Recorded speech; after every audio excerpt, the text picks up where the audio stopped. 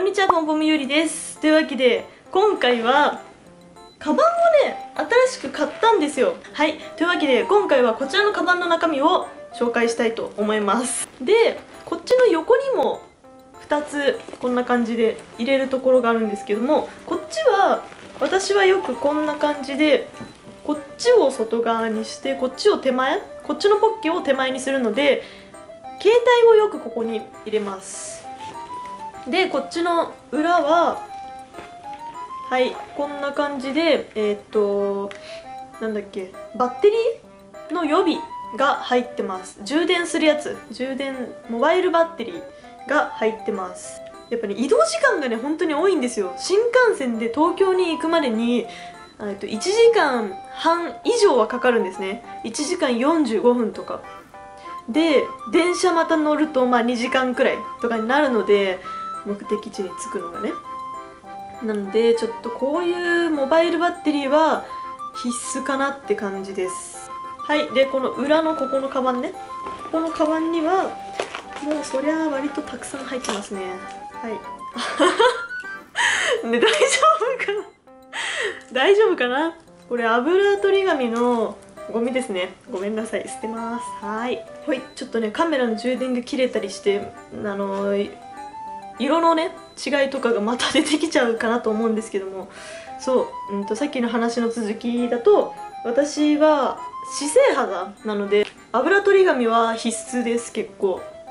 ちょっと移動するだけで、まあ、汗とかでも化粧崩れたりするのでこれでちょっととりあえず取ってで直すみたいなそんな感じが多いですね。うん。なのでこれは必須です。あとはこれはヘアピンヘアピンの小さめのヘアピンとあとゴムはちょっとね髪の毛長かった時があったのでまあ入れるようにしてました。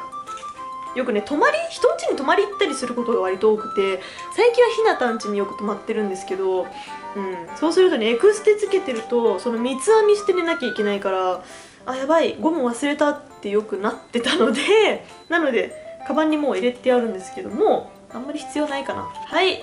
であとはねもうすぐ手の届くところにリップ系をねあの持っとかないと私よくね多分唇の動かし方がおかしいというかなんか唇をよく舐め舐めはしないんだけどなんかうんこの口をすごくよくやっちゃうのでなんかリップがねすぐ落ちちゃうんですよね。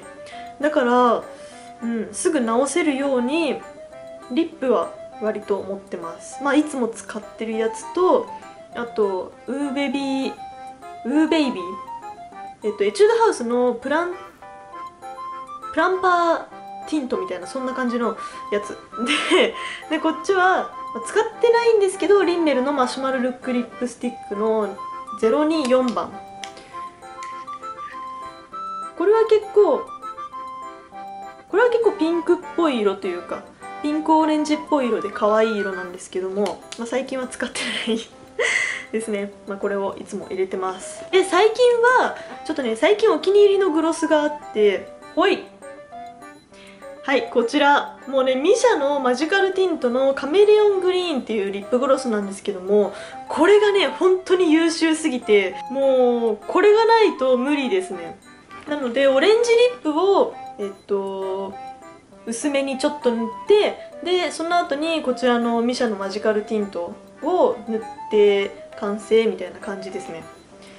でそれをよくこの後ろの小さいポケットに入れてます。はい。でそんな感じです私は大体。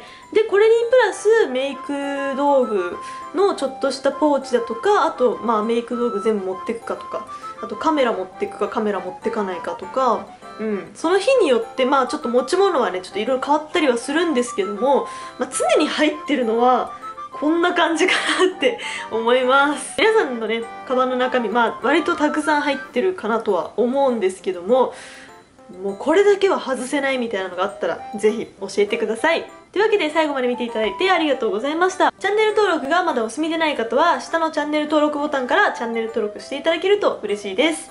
グッドボタンもよろしくお願いします。また次の動画でお会いしましょう。バイバーイ。